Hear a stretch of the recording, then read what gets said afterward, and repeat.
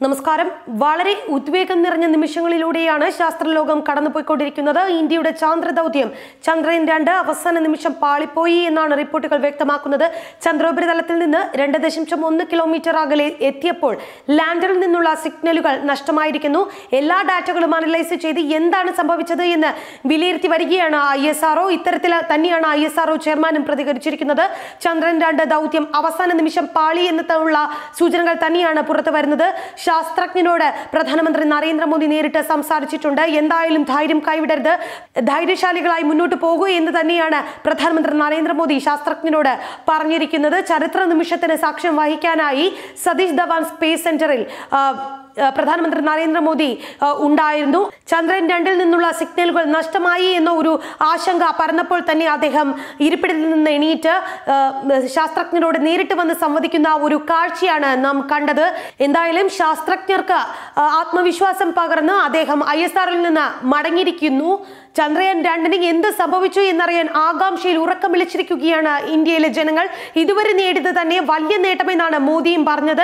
താൻ എല്ലാ അർത്ഥത്തിലും നിങ്ങൾക്കൊപ്പമുണ്ട്. നല്ലതിനു വേണ്ടി പ്രാർത്ഥിക്കാം എന്ന് തന്നെയാണ് മോദി ശാസ്ത്രജ്ഞർക്ക് നൽകിയിരിക്കുന്ന ആത്മവിശ്വാസം. സോഫ്റ്റ് ലാൻഡിംഗിൽ നേരിയ വ്യത്യാസത്തിൽ പിഴവുണ്ടായി എന്നാണ് റിപ്പോർട്ടുകൾ സൂചിപ്പിക്കുന്നത്. മുപ്പത്തിയഞ്ച് മീറ്റർ അകലെ വരെ എത്തിയ വിക്രം ലാൻഡർ സിഗ്നൽ തന്നില്ല എന്നതായിരുന്നു ആശങ്ക പടർത്തിയത്. ഒന്ന് മുപ്പത്തി ആറോട് കൂടിയായിരുന്നു ലാൻഡിംഗ് പ്രക്രിയ ആരംഭിച്ചത്. അതിനുശേഷമുള്ള നിമിഷങ്ങൾ അതിനിർണായകവുമായിരുന്നു. അവിടെയാണ് ഐ എസ് ആർഒയിൽ ചില ആശയക്കുഴപ്പമുണ്ടാക്കിയത്. ചന്ദ്രോപരിതലത്തിൽ നിന്ന് മുപ്പത്തിയഞ്ച് കിലോമീറ്റർ വരെ അടുത്ത് വിക്രം ലാൻഡർ എത്തിയിരുന്നു. എന്നാൽ അതിനുശേഷം സിഗ്നലുകളൊന്നും തന്നെ ഐ എസ് ആർഒയിൽ കിട്ടിയിരുന്നില്ല. ഇതാണ് ആശയക്കുഴപ്പമുണ്ടാക്കിയത്. ഇതോടെയായിരുന്നു പ്രധാനമന്ത്രി നരേന്ദ്രമോദി ഇരിപ്പിടത്തിൽ നിന്ന് എണീറ്റ് ശാസ്ത്രജ്ഞർക്ക് അടുത്തേക്ക് പോയത്. ജൂലൈ ഇരുപത്തിരണ്ടാം തീയതി ഉച്ചയ്ക്ക് ശേഷമായിരുന്നു ബാഹുബലി എന്ന ഓമന പേരിൽ അറിയപ്പെടുന്ന G S L V mark മൂന്ന് റോക്കറ്റ് ചന്ദ്രയാനുമായി കുതിച്ചുയർന്നത്.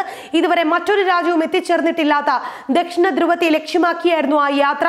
അതായത് ദക്ഷിണ ധ്രുവത്തിലായിരുന്നു വെള്ളത്തിന്റെ സാന്നിധ്യം ജലത്തിന്റെ സാന്നിധ്യം ചന്ദ്രനിൽ ഉണ്ട് എന്ന് പറയപ്പെടുന്നത്. ആദ്യ ചാന്ദ്ര ദൗത്യമായ ചന്ദ്രൻ ഒന്നിൽ നിന്ന് ലഭിച്ച വിവരങ്ങളുടെ അടിസ്ഥാനത്തിൽ അതായത് ചന്ദ്രനിൽ വെള്ളത്തിന് സാന്നിധ്യം എന്ന ഒരു പ്രക്രിയ പൂർത്തീകരിക്കുക അല്ലെങ്കിൽ ആ ഒരു കണ്ടെത്തലിനെ പൂർണ തരത്തിലേക്ക് എത്തിക്കുക എന്ന ഒരു ലക്ഷ്യത്തോടു കൂടിയായിരുന്നു ചന്ദ്രയാൻ രണ്ട് ഭൂമിയിൽ നിന്ന് കുതിച്ചുയർന്നത്.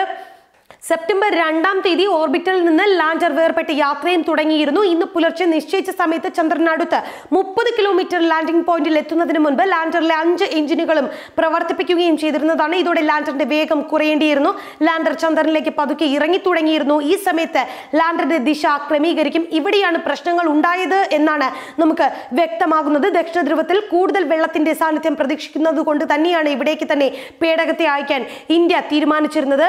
ആ, എന്തായാലും വളരെ നിരാശ പകരുന്ന ഒരു വാർത്ത തന്നെയാണ് ശാസ്ത്ര ലോകത്ത് നിന്ന് പുറത്തു വരുന്നത്. എന്തായാലും ശാസ്ത്രജ്ഞരെ സംബന്ധിച്ച് ഇത് വലിയൊരു നേട്ടമാണ്. ഇത്രയും അധികം ഒരു ദൗത്യം ഇത്രയെങ്കിലും നമുക്ക് വിജയിപ്പിക്കാൻ കഴിഞ്ഞു. അതൊക്കെ നല്ലൊരു ശുഭ സൂചനകളാണ് നൽകുന്നത്. എന്തായാലും അവസാന നിമിഷം നമുക്ക് നിരാശ പകരുന്ന വാർത്തയാണ് പുറത്തു വന്നുകൊണ്ടിരിക്കുന്നത്.